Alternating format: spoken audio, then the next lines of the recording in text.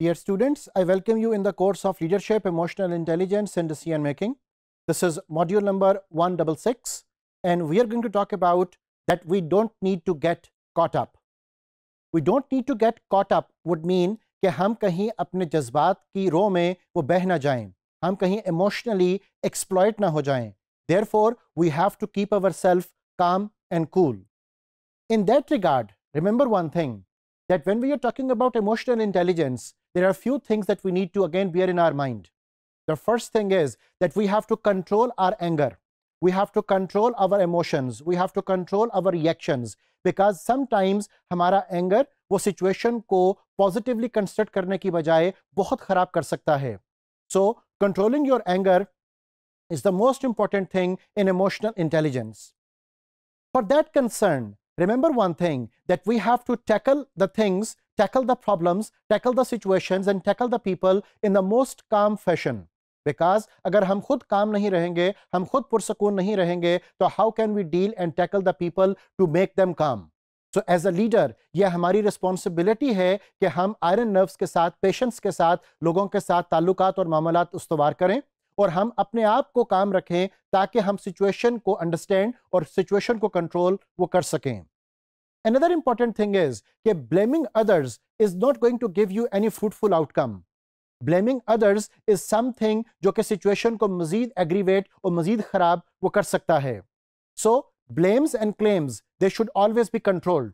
We should be continuously knowing कि हमने कहाँ पर किस शख्स के साथ किस तरह से डील करना है और इस बात को भी अंडरस्टैंड करना है कि गलती इंसान से हो सकती है so blame game is not something which is going to give us what we want to achieve And therefore remember another important thing and that is कि शॉर्ट टेम्पर होने से बाज़ात हम सिचुएशन के कंट्रोल को लूज कर जाते हैं।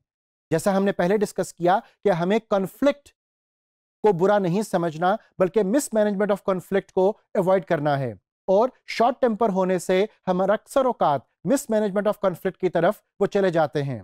Because हमारा रिएक्शन हमारा रद्द अमल वो हमारे कंट्रोल में नहीं रहता।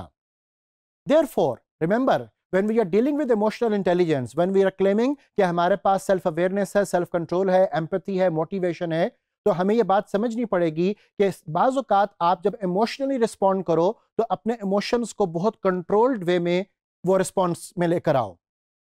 और याद रखें कि अगर आप बहुत ज़्यादा इमोशनल डेमोन्स्ट्रेशन देंगे तो उस इमोशनल डेमोन्स्ट्रेशन से इट इज़ अ फैक्टर कि sometimes you might be looking like a fool so हमें बड़ा कंट्रोल्ड बड़ा कूल एंड काम फ़ैशन के अंदर चीज़ों को टैकल वो करना है। अनदर इंपॉर्टेंट थिंग इज़ कि बाज़ात आपके जो वीक मोमेंट्स हैं, वो आपको सबसे ज़्यादा एक्सप्लॉइट करते हैं। So remember for that concern if you are feeling that you are weak in your emotional context तो you can take a pause you can take a break आप अब दोबारा से अपनी एनर्जीज को वो बहाल करें, ताकि आप बेहतर तौर लोगों से इंटरेक्ट कर सकें, बेहतर तौर आप अपना रिएक्शन वो शो कर सकें। And it should not be the case कि the weak moments are actually overriding you Another important concern which we have to understand basically is that you have to prove that you are a bigger person. और sorry कह देने से thank you कर देने से किसी शख्स का ख्याल रख लेने से आप छोटे नहीं होवोगे सो रिमेंबर कि you have to be controlled you have to be proving yourself as a bigger person you have to be proving yourself that you are the person who is in a shape of a leader और उसके लिए फिर आपको patience के साथ, आपको persistence के साथ अपने रद्द अमल को, अपने बर्ताव को वो पेश करना है।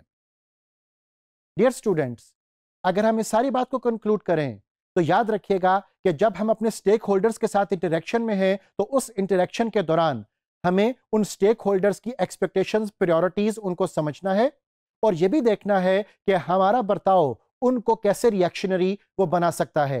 There Remember, we have to keep ourselves cool and calm. Thank you.